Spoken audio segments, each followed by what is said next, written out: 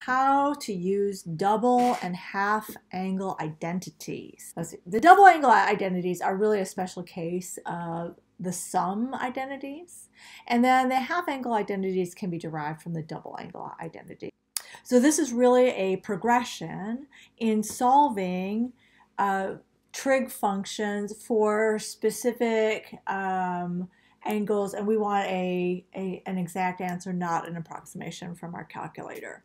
So let's jump on in. Okay, so perhaps you remember that the sine of a plus b is sine a cosine b plus cosine a sine b. Uh, but if both of a and b are a, then it just ends up being sine a cosine a plus sine a cosine a. And so you got two of those. So that's where this one comes from. Perhaps you remember that cosine of a plus b is cosine a cosine b minus sine a sine b. But if, if both of the arguments are not a and b, they're both a, then you would end up with cosine a cosine a minus sine a sine a. And so that's just cosine squared a minus sine squared a.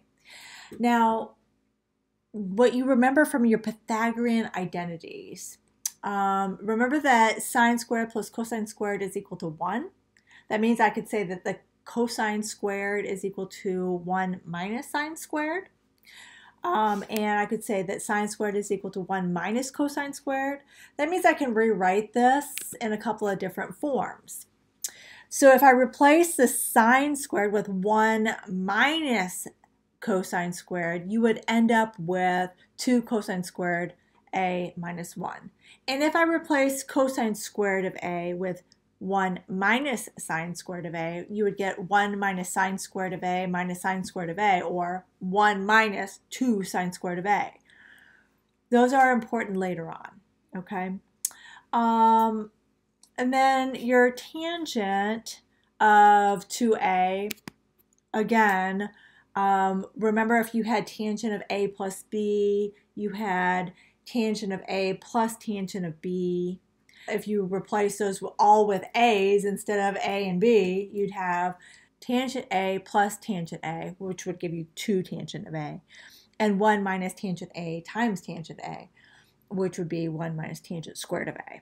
Okay, so that's where those double angle identities come from. They're just um, rewritten with two of the same variable instead of an A and a B. Now your half angle identities, they get derived from the double angle identities.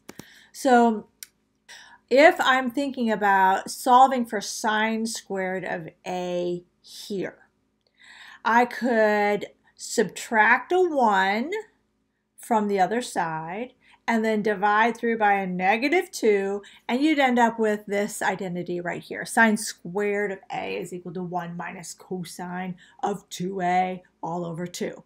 Now, what if I didn't want this to be a and this to be twice the amount? Okay, what if I wanted this to be a? Okay, I would still have the relationship of a 1 to 2 ratio for these arguments. So if this is A, this would be A over 2. All right, and so um, I could then rewrite this as, this takes two steps in one, sine of a, or let's see, sine squared of a over 2 is 1 minus cosine a over 2. And then I could take the square root of both sides to just get sine of a over 2. Now, um, similarly, you could do the same thing with cosine squared. You would use this um, formula right here, okay? And you would be able to find that cosine of a over 2 is equal to plus or minus the square root of 1 plus cosine of a over 2.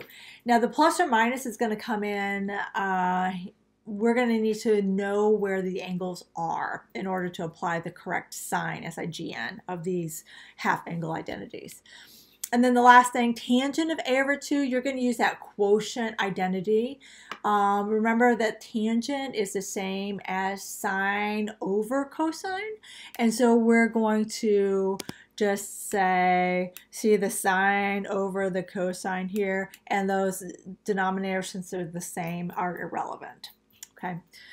So we would end up with 1 minus cosine of A over 1 plus cosine of A. In the next video, we're going to actually utilize these identities. Here's where we derive them, where did they come from. Next video, we'll actually use them. See you then.